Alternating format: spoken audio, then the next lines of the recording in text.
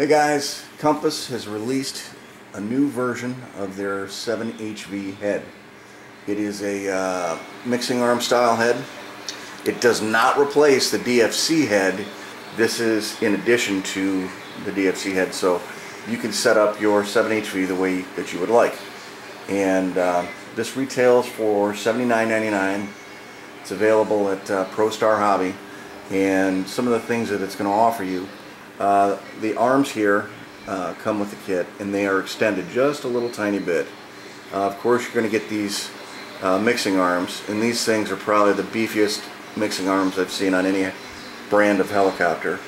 Uh, they're really thick and I don't think they'll ever twist. Um, you also get the pitch links and all the hardware and the cool thing about the pitch links is they're interchangeable with your servo linkage. They're, it's the same part number. So um, you just get yourself a pack of servo linkages and you got uh, pitch links also.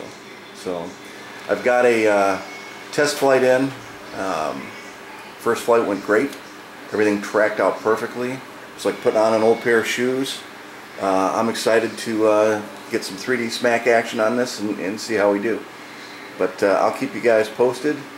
Uh, this is a new product from Compass and stay tuned. See you.